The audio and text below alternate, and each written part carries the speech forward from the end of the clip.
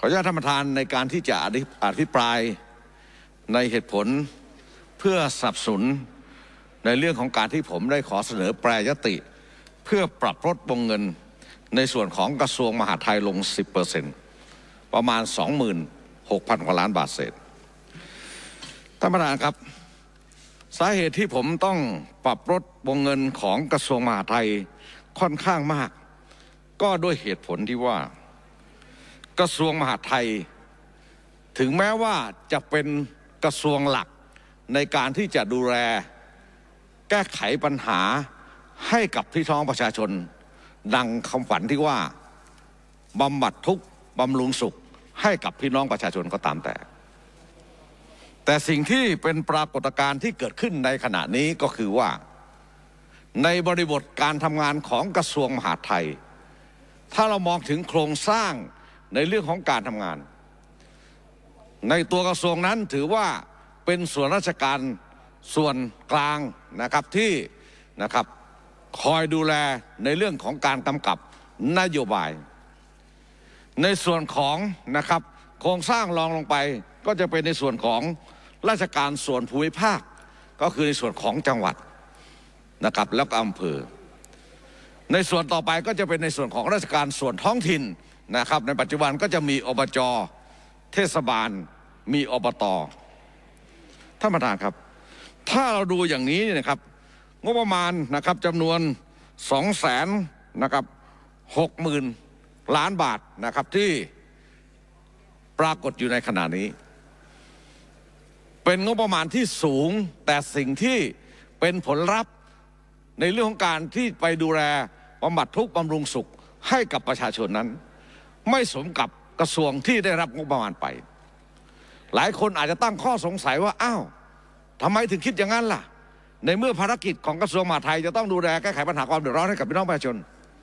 สิ่งที่ผมจะนำเรียนท่านประธานก็คือว่า เมื่อตอนต้นผมได้นำเรียนถึงโครงสร้างในการปกครอง เราได้มีการพูดคุยกันอยู่ตลอดเวลา แม้แต่แผนปฏิรูปประเทศเอง ก็ยังเขียนแผนปฏิรูปไว้ ในการที่จะให้มีการผลักดันให้มีการกระจายอำนาจไปสู่ท้องถิ่น ซึ่งมันจะตรงต่อการแก้ไขปัญหา และความต้องการของพี่น้องประชาชน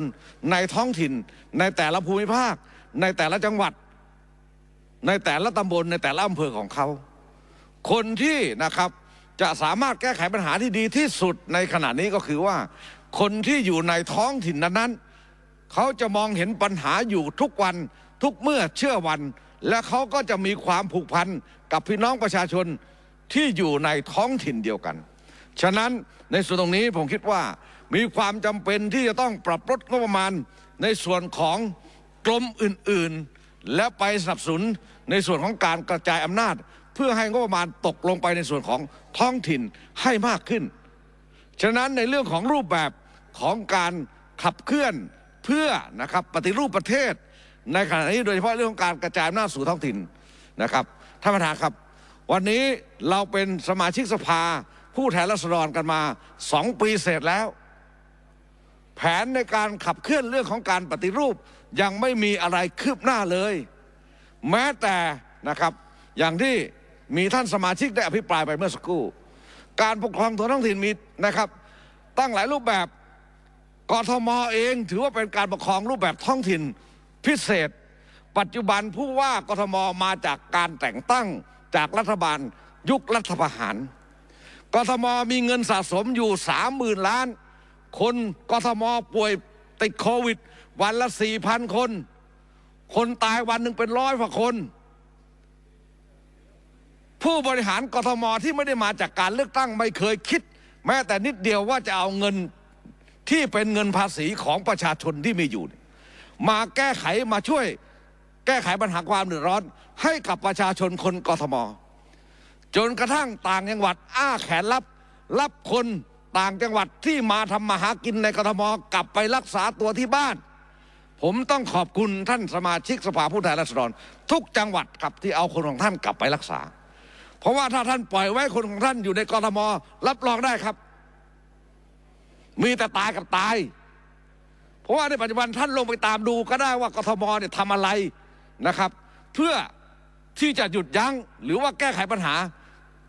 ให้กับคนที่อยู่ในกรุงเทพมหานครโดยเอางบประมาณที่มีอยู่ของกรุงเทพมหานครเนี่ยมาช่วยสนับสนุนในการแก้ไขปัญหาความเดือดร้อน ให้กับพี่น้องประชาชน โดยเฉพาะในเรื่องของโควิด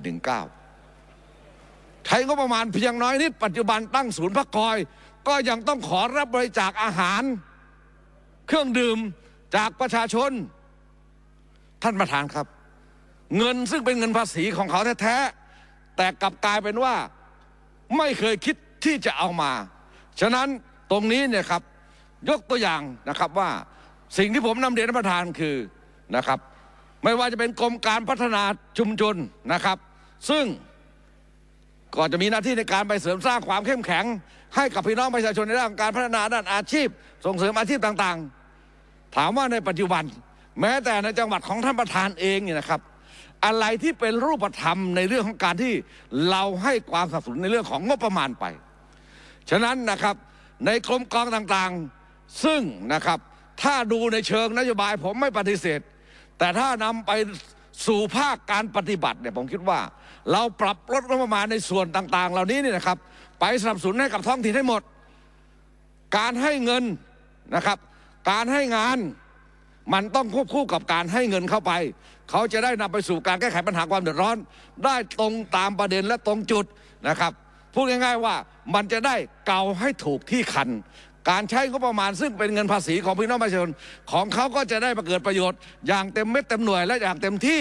งั้นตรงนี้ก็ขออนุญาตท่านประธานที่ครพนะครับว่า ผมสนับสนุนในเรื่องการที่ต้องให้มีการปรับลดงบประมาณในส่วนของกระทรวงมหาดไทยลง